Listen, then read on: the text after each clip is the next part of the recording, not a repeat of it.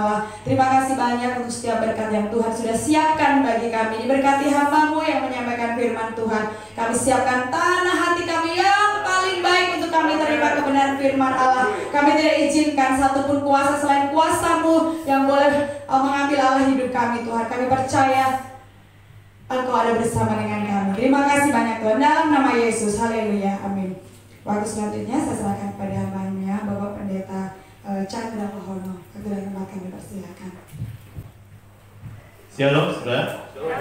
Puji Tuhan, sudah lama kita tidak berjumpa, mungkin sudah hampir satu tahun ya. Saya tidak pernah melayani di sini, tapi puji Tuhan, oleh kemurahan Tuhan, Bapak Gembala Saudara memberikan kesempatan saya kembali untuk eh, memberitakan firman Tuhan pada ibadah hari ini. Saudara, kadangkala Tuhan itu mengizinkan malapetaka itu terjadi. Ya. Nah, baik itu untuk umatnya maupun yang bukan. Contohnya, ya, misal pada waktu zaman Nabi Nuh, ya, itu ada malapetaka apa? Air bah, ya. Atau mungkin terhadap umatnya juga, contohnya Ayub. Kurang apa sih Ayub? Tapi Tuhan izinkan untuk mengalami malapetaka dalam hidupnya. Anaknya mati semua, tubuhnya uh, uh, mengalami sakit penyakit. Atau mungkin bagi umatnya bangsa Israel diizinkan untuk ya dijajah oleh bangsa Mesir. Nah, saudara yang dikasihi Tuhan, hari ini saya akan uh, mengajak saudara untuk kita menyelidiki bersama-sama, mau belajar dari kejadian yang ditulis dalam Alkitab. Ya, tema dari firman Tuhan hari ini yang saya bacakan adalah tulah berhenti. Tulah berhenti. Ini eh, ditulis di dalam eh, kitab 2 Samuel pasal 24. Sebenarnya dari ayat 1 sampai ayat 25. Ya, di situ ada terjadi tulah. Kalau sudah lihat judul perikop dari uh, ayat yang ke-17 sampai 25 ya. Itu ada istilah tulah berhenti.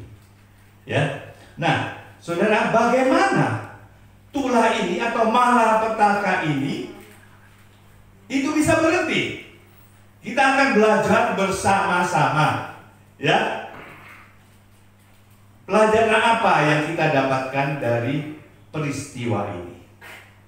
Dari 2 Samuel 24 ayat 1 sampai 25. Saudara bisa baca di rumah, saya tidak akan bacakan semua, tapi saya kutip beberapa ayat saja. Kita lihat pelajaran yang pertama. Kita baca di dalam ayat yang pertama. Dikatakan begini. Ya.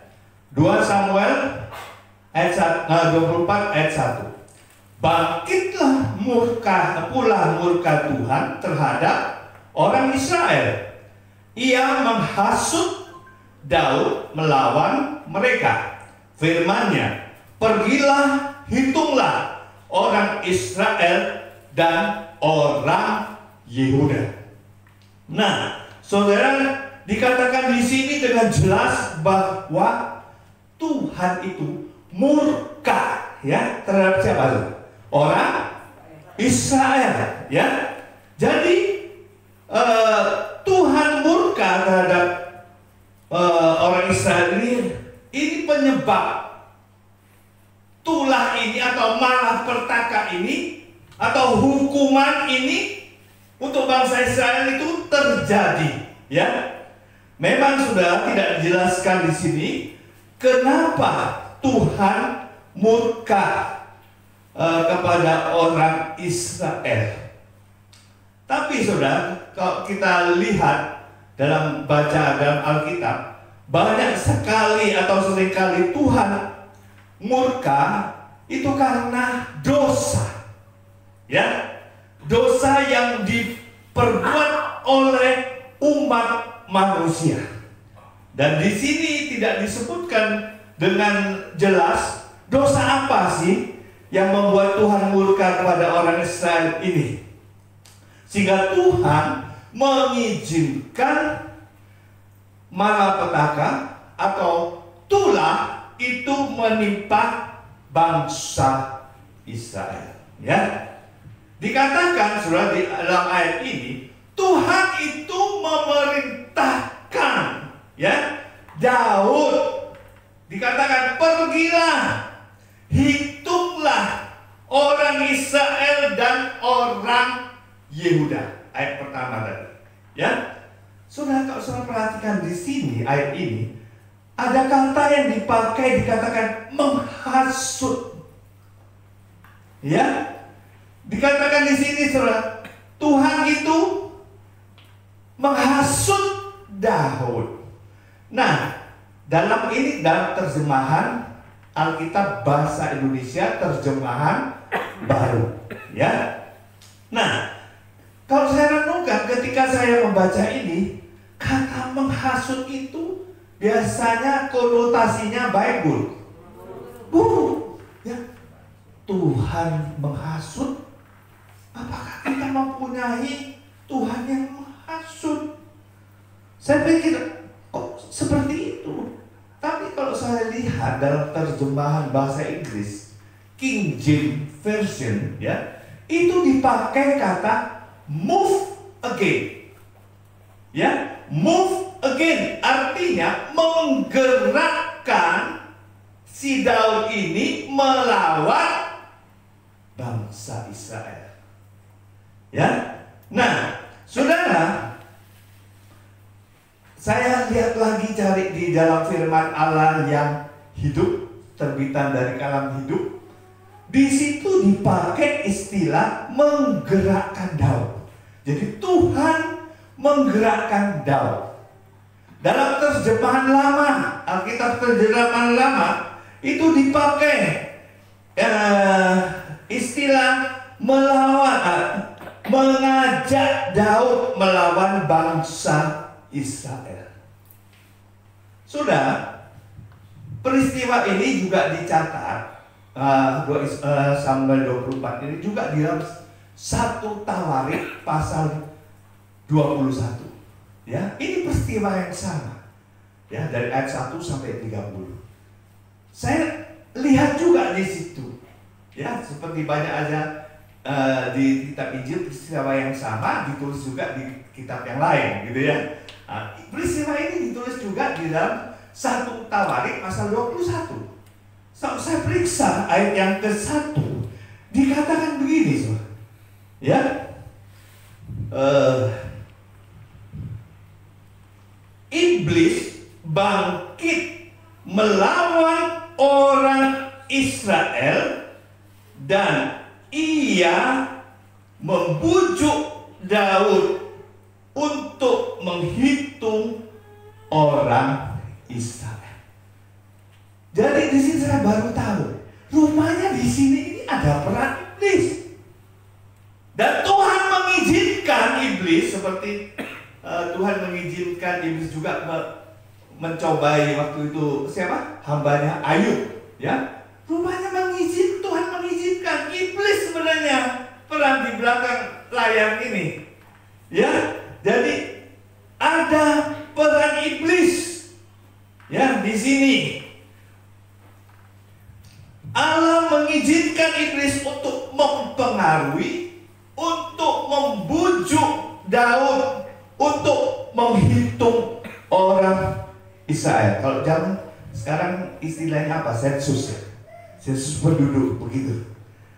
Nah, dan Daud itu memakai Yoab, ya, dan para panglima tentara untuk mengadakan pendaftaran seluruh rakyat supaya diketahui jumlahnya, ya, dari Dan sampai Berseba, ya, dari utara sampai ke selatan. Nah, saudara ini tercatat ya dalam ayat-ayat yang tadi uh, saya sebutkan ayat, ayat berapa? Ayat 8 mungkin ya. Dan uh, jumlahnya hasilnya berapa sih? Uh, waktunya itu berapa lama mengadakan sesuatu? Ayat 9 dikatakan dalam 9 bulan 20 ayat 8 ya. Dari 2 Samuel 24 dikatakan 9 bulan 20 hari. Dan hasilnya itu berapa? Ayat yang 9 dikatakan orang Israel itu ada 800 ribu orang. Orang Yehuda ada 500 ribu orang ya memang semula Yoab ini menolak atas suruhan perintah daripada Daud. Tapi akhirnya dia melaksanakan juga. Nah, kenapa sih? Kok Daud ini ingin menghitung jumlah rakyatnya. Dan Allah mengizinkan iblis untuk mencobai Daud. Ya. Kenapa? Rupanya ada maksud tertentu. Daud ini menyuruh menghitung ini. Ada suatu kesombongan dalam diri Daud. Karena untuk bisa mengerti teks ini, saudara harus bisa membaca ayat sebelumnya maupun sesudahnya. Itu yang harus kita uh, uh, lakukan, saudara. Ayat-ayat sebelumnya diceritakan Daud itu berperang dengan orang-orang uh, yang tidak mengenal Tuhan, kafir katanya dia tidak mengenal Tuhan. Uh, itu selalu menang melawan Filistin, melawan yang lain. Kalau sudah lihat sebelum ayat sebelumnya di dalam dua Samuel ini, selalu menang. Jadi dia merasa sombong, merasa kuat. Ya, dia bangga dengan itu. Dan Tuhan tidak suka sebenarnya dengan kesombongan. Tapi Tuhan izinkan iblis, apa uh, iblis, ya, untuk supaya Daud itu terjatuh dari dalam dosa kesombongannya. Jadi dia tidak percaya lagi kemenangan-kemenangan dia dia peroleh itu karena kuasa Tuhan, penyertaan Tuhan. Tapi dia menganggap itu kekuatan diri sendiri. Kekuatan dari angkatan perangnya sendiri. Itu yang ada dalam dalam dasar hati Daud. Dan ini merupakan dosa di hadapan Tuhan. Ya, jadi Daud bermegah dalam kemampuan secara fisik bukan oleh kuasa Tuhan dan kebenaran Allah. Dan setelah sensus itu dilakukan, saudara, kemudian hati Daud, Daud merasa sadar, hati nuraninya yang sudah terlatih itu, ya, dia itu sadar bahwa dia itu sudah berdosa kepada Tuhan. Itu dinyatakan dalam ayat 10. Ya. Nah, setelah itulah hukum hukuman Tuhan atas bangsa Israel itu diberlakukan melalui utusan dari nabi yang bernama Gad yang harus disampaikan kepada Raja Daud. Nah, saudara, hukuman apa yang ditimpahkan kepada bangsa Israel atas dosa-dosa mereka.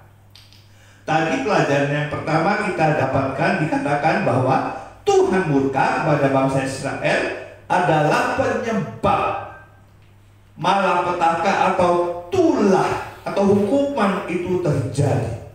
Kita akan lihat pelajaran yang kedua.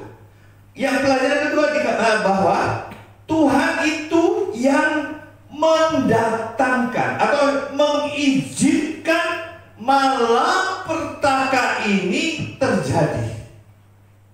Tetapi sudah karena hambanya itu Daud ini uh, orang yang berkenan di hadapan Tuhan, dia sadar, dia bertobat, ya dikenal Daud orang hamba yang berkenan di hadapan Tuhan.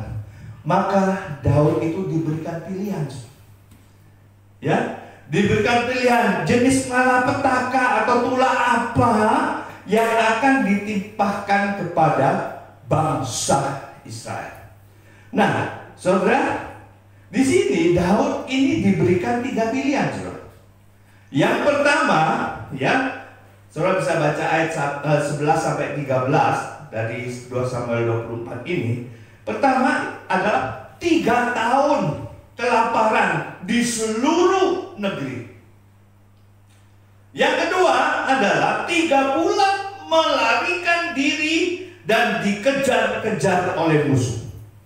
Dan yang ketiga adalah tiga hari penyakit sampar melanda seluruh negeri. Tiga macam malapetaka ini yang ditawarkan kepada Raja Daud melalui Nabi Gad ini untuk dipilih yang mana yang akan diberlakukan Tuhan. Ya boleh pilih. Dan apa yang dipilih Daud? Daud yang memilih. Tapi Daud tidak memilih salah satu dari tiga itu. Apa jawaban Daud? Jawaban Daud terdapat di dalam ayat 16. Dikatakan begini. Ayat 14 bunyi, Lalu berkatalah Daud kepada Gad, sangat susah hatiku. Biarlah kiranya kita jatuh ke dalam tangan Tuhan. Sebab besar kasih sayangnya. Tapi janganlah aku jatuh ke dalam tangan manusia. Itu jawaban daripada Daud. Nah, dengan jawaban Daud ini akhirnya Tuhan ya e, memilih malapetaka atau sampar kepada bangsa Israel. Tuhan mendatangkan, mengizinkan malapetaka ini terjadi. Ini tertulis dalam ayat yang ke-15. Ya. Nah, Saudara ingin tahu berapa sih banyak korbannya? Korban karena penyakit atau uh, pandemi sebenarnya ini, penyakit sampar ini, itu ada 70 ribu orang. Ya, banyak ya? Banyak.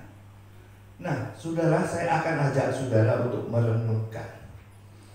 Ya, bukankah keadaan yang diderita oleh bangsa Israel ini ini juga hampir sama dengan keadaan kita pada saat ini. Ya, kita ini sedang dilanda oleh pandemi apa? Covid, ya. Dilanda oleh pandemi Covid. Dan Allah rupanya mengizinkan ini terjadi ya. Hmm, terhadap negeri kita. Kenapa? Sebab karena rupanya manusia ini sudah banyak berbuat dosa, terlalu banyak berbuat kejahatan, ya, yang dilakukan manusia sehingga Tuhan itu mengizinkan pandemi Covid ini terjadi. Kemudian saudara, pelajaran yang ketiga ayat 16 itu saudara dikatakan begini, Saudara. Ketika malaikat mengacungkan tangannya ke Yerusalem untuk memusnahkan, maka menyesallah Tuhan karena malapetaka itu. Lalu ia berfirman kepada malaikat yang mendatangkan kemusnahan kepada bangsa itu, "Cukup, turunkanlah sekarang tanganmu itu." Pada waktu itu malaikat Tuhan yang ada dekat tempat pengirikan Arauna ya orang Yebus. Pelajaran yang ketiga saudara bahwa Tuhan ya yang sanggup menghentikan malapetaka itu. Kalau tadi yang pertama Tuhan murka pada bangsa Israel. Uh, yang kedua Tuhan mengizinkan ya mendatangkan uh, malapetaka terjadi. Yang ketiga ini Tuhan yang sanggup menghentikan malapetaka. Jadi kita harus betul-betul merendahkan diri kepada Tuhan. Ya. Memohon belas kasihan Tuhan. Mengaku dosa-dosa kita di hadapannya. Karena hanya Tuhan yang bisa mengangkat atau menghentikan tulah ini atau malapetaka ini. Kita harus berdoa untuk bangsa ini. Ya. Kita berdoa ya atas dosa-dosa dari bangsa ini supaya pandemi ini boleh segera berakhir. Karena Tuhan yang sanggup menghentikan ini. Juga kita berdoa mengaku dosa atas dosa-dosa. Mungkin ada malapetaka dalam keluarga kita. Sehingga Tuhan murka kepada kita. Sehingga malapetaka itu terjadi dalam kehidupan saudara, dalam keluarga saudara. Dialah yang sanggup menghentikan, mengangkat malapetaka dalam keluarga saudara. Minta ampun pada Tuhan. Mengaku dosa pada Tuhan. Merendahkan diri pada Tuhan. Kemudian saudara, pelajaran yang tepat yang terakhir terdapat di dalam ayat 18 sampai ke 19. Dikatakan begini, saudara.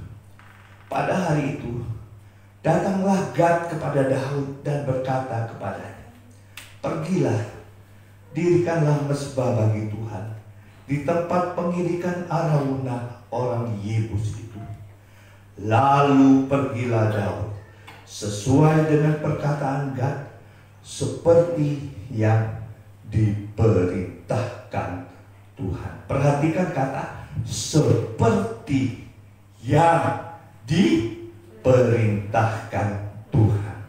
Jadi saudara, pelajaran yang keempat yang kita dapatkan Tuhan memerintahkan Daud ya untuk mendirikan apa sudah mesbah bagi Tuhan.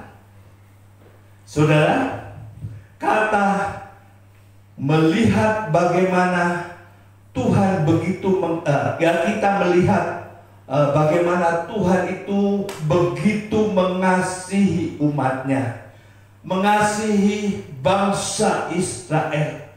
Sehingga ketika itu dikatakan dalam ayat sebelumnya dikatakan menyesallah Tuhan atas kemusnahan atau malapetaka yang diizinkan Tuhan dan dia menghentikan malaikat Tuhan yang ada di tempat pengirikan Aruna Arauna pada waktu itu orang Yebus ayat yang ke-16.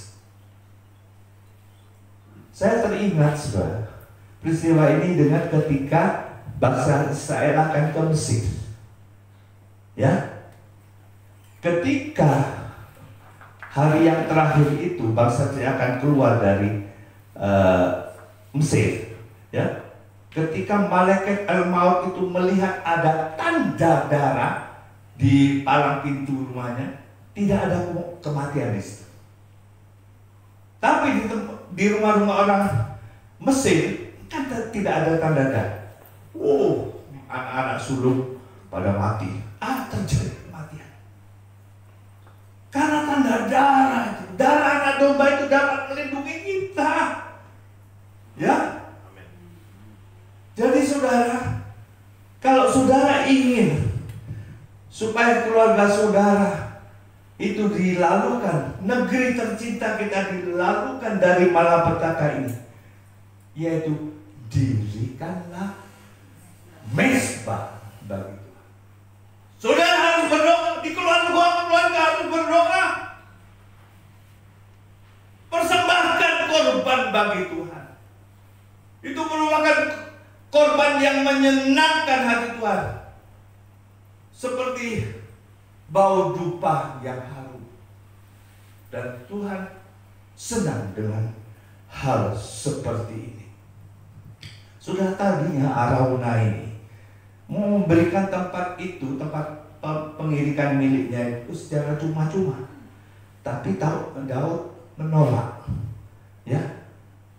Daud katakan, aku mau membeli tempat pengirikanmu karena aku akan mendirikan mesbah bagi Tuhan.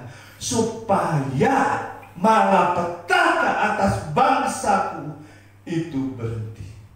Daud tahu ya bahwa dengan mendirikan mesbah itu malapetaka itu berhenti. Dan itu diteguhkan dalam ayat 25 dikatakan begitu Daud mendirikan mesbah maka saat itu juga tulah itu berhenti. Ya. Jadi sudah ada harga yang harus dibayar ya untuk mempersembahkan korban bagi Tuhan. Karena Raja Daud tahu bahwa ketika mesbah itu dirikan malah maka malah petaka itu akan berakhir. Jadi sudah ada rahasia besar bagaimana supaya petaka itu bisa berhenti yaitu dirikanlah mesbah bagi Tuhan.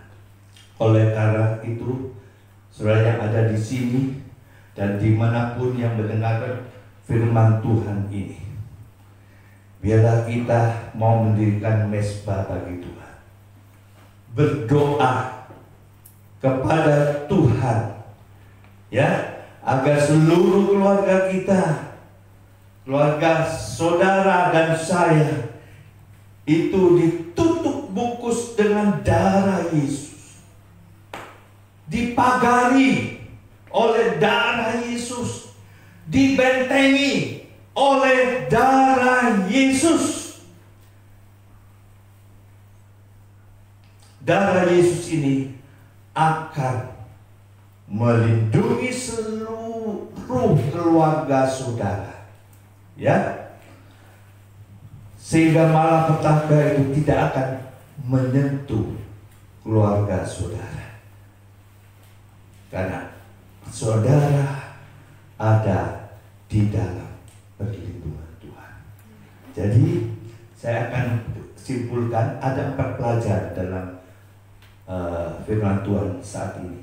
Yang pertama, Tuhan murka kepada bangsa Israel itu adalah karena penyebab uh, Tuhan itu adalah penyebab malapetaka atau tulang itu terjadi. Yang kedua, Tuhan yang mendatangkan atau mengizinkan malapetaka itu terjadi terhadap bangsa Israel. Tiga, Tuhan yang juga yang sanggup menghentikan segala malapetaka atau tulah itu terjadi sehingga dihentikan oleh Tuhan dan yang keempat Tuhan memerintahkan supaya Raja Daud mendirikan mesbah bagi Tuhan jadi marilah kita bertindak atas firman Tuhan ini kita semua boleh merendahkan diri di hadapan Tuhan kita boleh memohon ampun kepada Tuhan. Kita bisa memohon belas kasihan kepada Tuhan. Kita bisa memohon kepada Tuhan supaya Tuhan menghentikan segala malapetaka atau tulah yang menimpa negeri kita ini. Karena hanya Tuhan yang sanggup menghentikan malapetaka. Tuhan yang sanggup menghentikan pandemi ini upaya manusia semata tidak akan sanggup, tapi hanya Tuhan yang sanggup. Tuhan Yesus memberkati kita semua. Mari kita berdoa. Bapak kami di surga, terima kasih Tuhan. Engkau sudah berfirman kepada kami. Kami akan mengandalkan Engkau Tuhan. Memohon belas kasihanmu Tuhan, supaya malapetaka terhadap negeri kami, malapetaka yang ada dalam keluarga kami ini boleh berhenti Tuhan. Dan kami boleh membawa korban, mendirikan mesbah bagimu Tuhan Yesus. Dan kami percaya ini yang kau kendaki.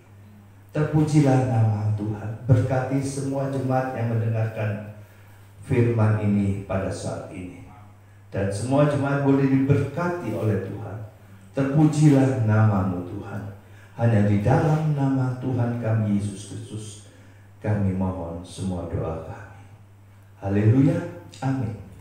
Saudara kita mari kita angkat kedua tangan kita siap untuk menerima berkat Tuhan. Diberkatilah keluargamu, diberkatilah kesehatanmu, diberkatilah pekerjaan dan hasil kerjamu, dan diberkatilah orang yang mengandalkan Tuhan, yang menaruh harapannya pada Tuhan. Sekarang saudaraku terimalah berkat yang besar dari Allah Bapa, cinta kasih dan kasih karunia dari Tuhan kita Yesus Kristus dan persekutuan dengan Roh Kudus menyertai hidup kita mulai pagi hari ini sampai Maranatha dia datang kali yang kedua. Di dalam nama Yesus Kami sudah berdoa dan terima berkat Tuhan. Semua yang percaya sama-sama katakan, Amin. Berikan kemuliaan Tuhan. Puji Tuhan kita di penghujung ibadah kita kita akan berikan korban persembahan terlebih dahulu kita masuk dalam doa. Bapak yang baik kami mengucap syukur untuk segala berkat-berkat yang Tuhan siapkan bagi kami. Dan hari ini kami terima berkat yang baru, berkat yang melimpah Berkat yang tidak pernah kami pikirkan Tuhan.